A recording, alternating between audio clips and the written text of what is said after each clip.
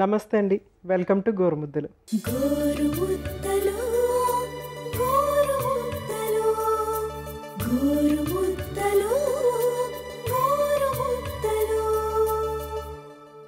అప్పటికప్పుడు చాలా ఇంట్రెస్టింగ్గా పిల్లలకి ఏదైనా స్నాక్ చేసి పెట్టాలంటే చాలా ఆలోచించాలన్నమాట. ఎందుకంటే మనకి ఇంట్లో రెడీగా ఉండే ఆహార పదార్థాలతో స్నాక్ చేయటం మోస్ట్ ఇంపార్టెంట్ అవుతుంది అనమాట అప్పటికప్పుడు అంటే ఏది రెడీగా ఉంటుందో దాంతోనే కదా మనము స్నాక్ చేయాలి.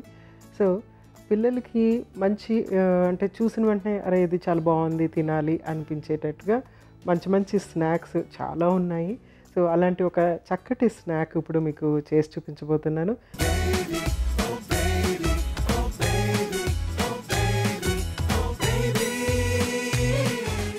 సో నేను చేసి చూపించబోయే స్నాక్ రెసిపీ ఏంటంటే banana toast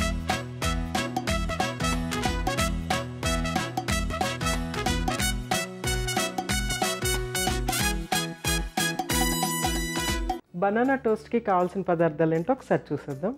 bread butter banana మూడు బీస్ అనమాట సో మీ త్రీ బీ టోస్ట్ అని కూడా మనం దీనికి పేరు పెట్టేయచ్చు. చాలా సింపుల్ చాలా ఈజీగా ఉంటుంది చేయటం కూడా. సో ఫస్ట్ ఏం చేద్దామంటే మనము బనానాని కట్ చేసుకుని దాన్ని రెడీ చేసుకుందాము. సో దానికి ఫస్ట్ మనము స్టవ్ వెలిగించాలి.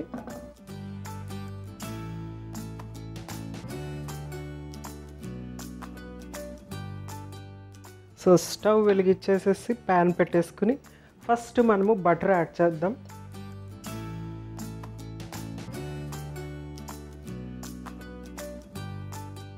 ప్యాన్లో బటర్ యాడ్ చేసిన తర్వాత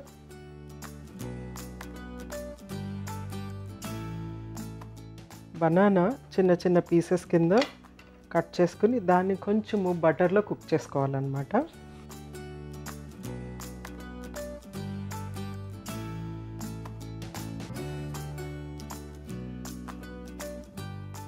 సో చిన్న చిన్న పీసెస్ కింద చేయాలి దీన్ని.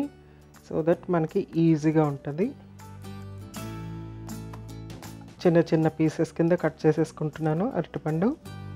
సో బటర్ ఆ ఎల్లో కలర్ ఉంది కదా బటర్లో. సో దాంట్లో మనకి వైటమిన్ ఏ డైరెక్ట్గా దొరుకుతుంది క్యారెటనైడ్స్ చాలా. హైలీ మనకి వెంటనే దొరికే అంటే క్యారెటనైడ్స్ అనేవి వైటమిన్ ఏ అనేది ఫ్యాట్ సాల్యుబుల్ కదా.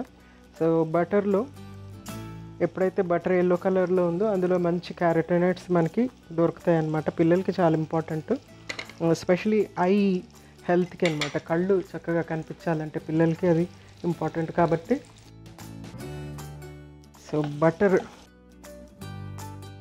బటర్లో మనము బనానాని వేయించుకుంటున్నాం అనమాట దీన్ని మనము ఇలా వేయించిన బనానా ఈ బటర్లో ఇలా వేయించిన బ- బనానా నేను అరటిపండుని డైరెక్ట్ ఇలాగే స్నాక్ లాగా ఇచ్చేయచ్చు.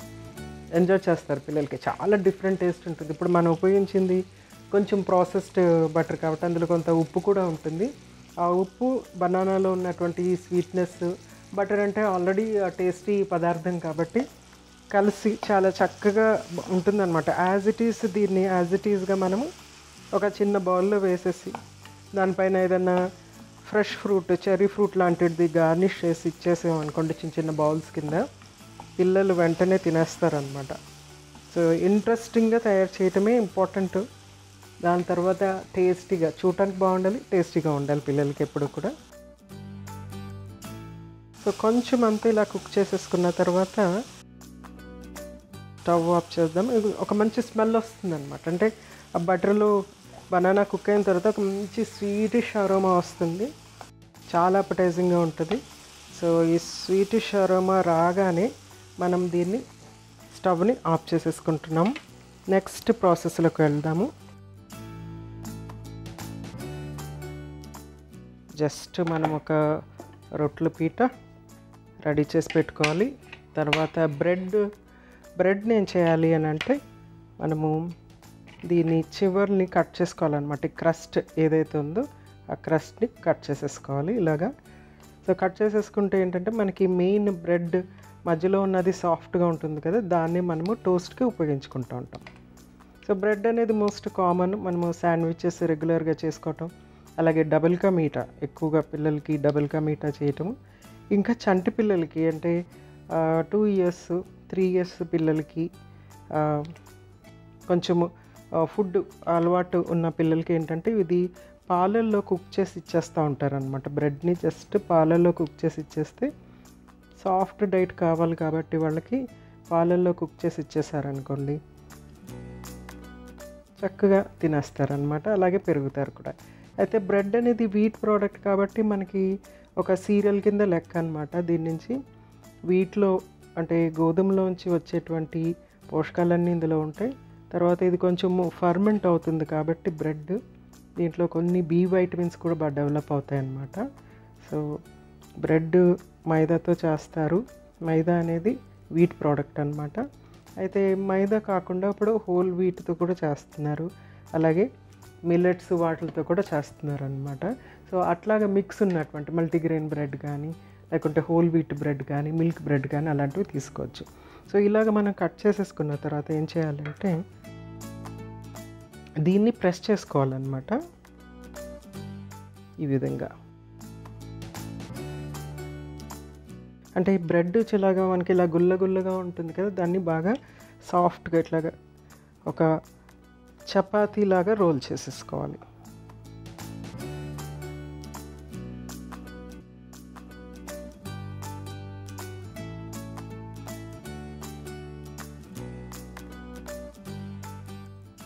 క్రస్ట్ అనేది ఉండకూడదు. ఎందుకంటే మనకి అది కరెక్ట్గా ఉండాలి అంటే క్రస్ట్ లేకుండానే ఉండాలన్నమాట. ఇలా చపాతీలా చేసేసుకున్న తర్వాత దీన్ని మనం ఈ టోస్ట్లో ఫిల్లింగ్ లాగా బనానా మిక్స్ మిశ్రమాన్ని ఇందులో పెట్టుకోవాలన్నమాట.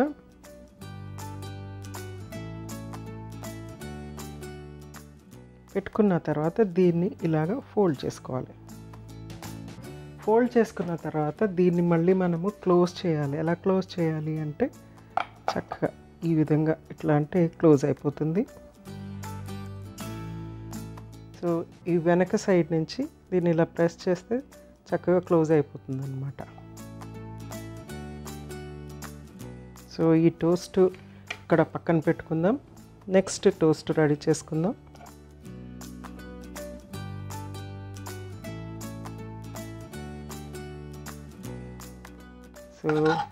మళ్ళీ కొంచెం బనానా.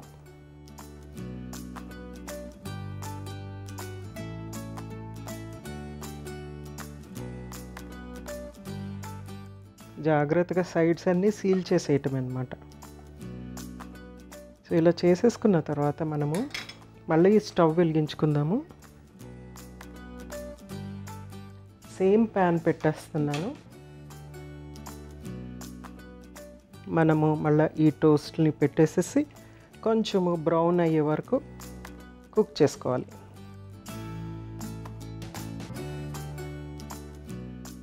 సో కొంచెం అంత బటర్ యాడ్ చేసి కొద్దిగా రెండు వైపులా మనము కాల్ చేసుకుందాం.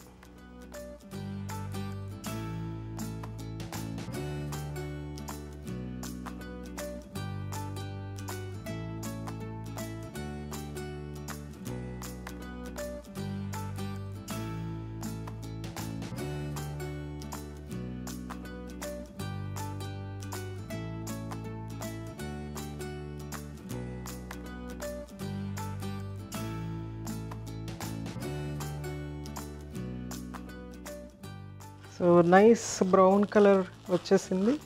చాలా సర్ప్రైజింగ్ చాలా క్విక్గా అయిపోయేటువంటిది చాలా సర్ప్రైజింగ్ స్నాక్ అనమాట ఇది పిల్లలకి. సో ఇది స్టవ్ ఆఫ్ చేసేసి సర్వ్ చేసుకుందాం.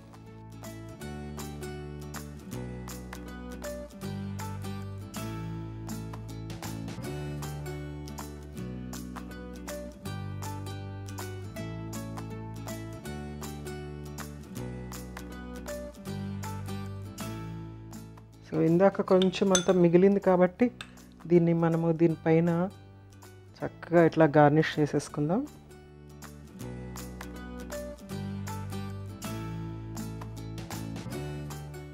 గార్నిష్ చేసిన తర్వాత కొంచెం అంత ఈ స్ట్రాబెర్రీ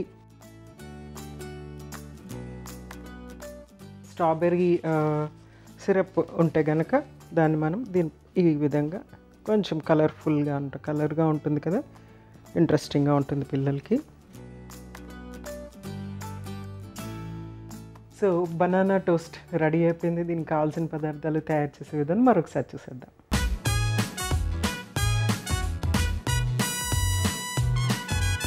బనానా టోస్ట్కి కావాల్సిన పదార్థాలు బ్రెడ్ బటర్ బనానా తయారీ విధానము. ముందుగా స్టవ్ వెలిగించి ప్యాన్ పెట్టి బటర్ వేసి అది కరిగిన తర్వాత అందులో అరటిపండు ముక్కలు వేసి కొద్దిసేపు వేయించుకున్న తర్వాత బ్రెడ్ అంచులను తీసివేసి దాన్ని చపాతీలాగా ఒత్తుకొని వేయించుకున్న అరటిపండు మిశ్రమాన్ని అందులో ఉంచి అన్ని అంచుల్ని క్లోజ్ చేసుకుని ప్యాన్ పై బటర్తో రెండు వైపులా కాల్చుకున్న తర్వాత ఒక సర్వింగ్ ప్లేట్లో తీసుకుని స్ట్రాబెర్రీ సిరప్తో గార్నిష్ చేసి సర్వ్ చేసుకుంటే బనానా టోస్ట్ రెడీ.